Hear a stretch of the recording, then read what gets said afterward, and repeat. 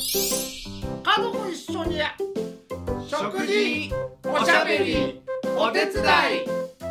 あったか家族応援標語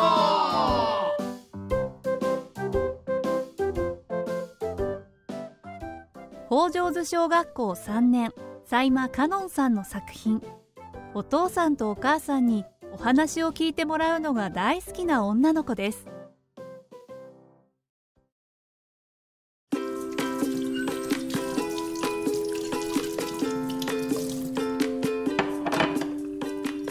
母さんこれでお皿は全部だよ。あら花子。ありがと私ねお手伝い大好きなんだよ。う本当？いつもお母さん助かるわ。何でも言ってね。じゃあ早速これでテーブル拭いてきてくれる？はーい。はいお願いします。お母さん今日あのね太郎くんがまた給食おかわりしてね。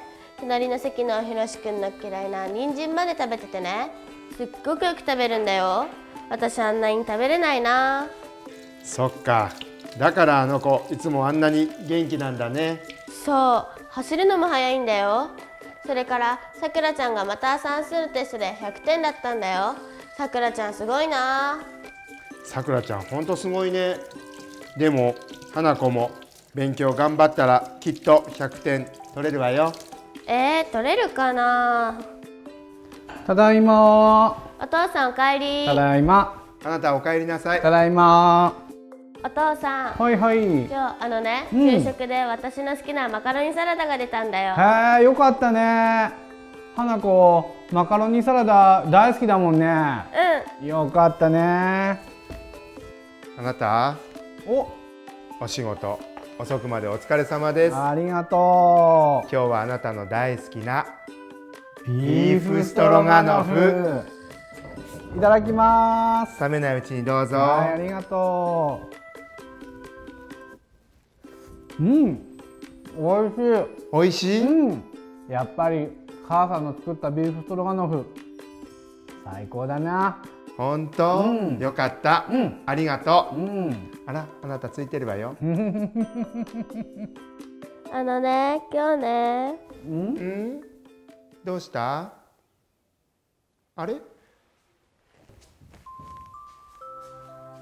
まさか。寝ちゃってるわ。